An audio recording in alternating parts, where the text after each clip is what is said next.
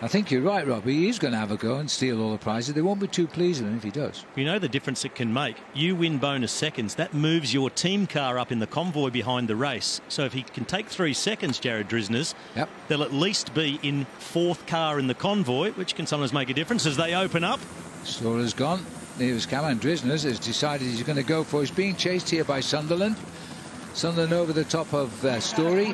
He's on the left of our picture, tucked in now to the white jersey there of Jarrad Drizners, who's taken out that one as well. Three seconds time bonus for Drizners. He gets points, of course, as well in the Ziptrak points competition. It's a sprinters competition, so he's putting, put himself into both competitions now. Uh,